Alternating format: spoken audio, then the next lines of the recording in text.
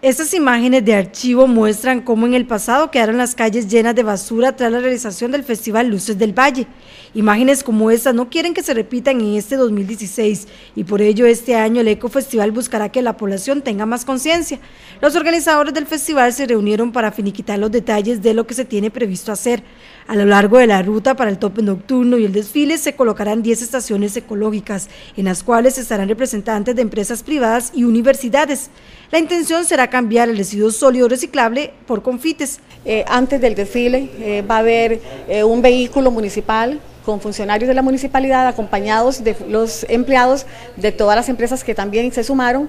Este, durante, van a salir antes y van a informarle a todas las personas que están ubicadas en la ruta eh, eh, sobre eh, la recolección de basura que se va a hacer. Van a recoger la basura, se van a aportar bolsas para darles a las personas, se va a intercambiar por un popi o por una sorpresita a los niños y a las personas que están en las graderías en el recorrido, le cambio este popi por la basura que tiene en sus manos. Sumado a ello, se colocarán 10 estañones para la basura, con el fin de que no se queden en la calle ni en las aceras.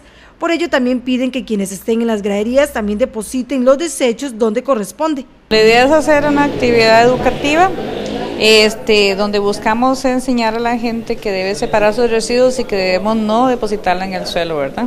Pero eso es el lema que hay ahorita a nivel nacional de no sea cochino.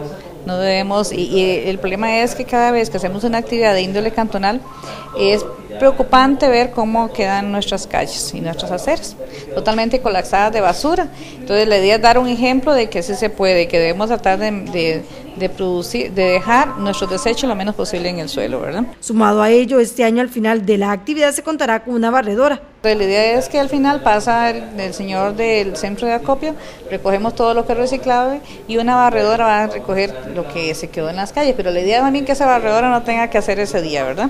Que esté todo en sus debidos separadores. O sea, esa barredora va a ser un día después. No, el mismo día. El mismo día.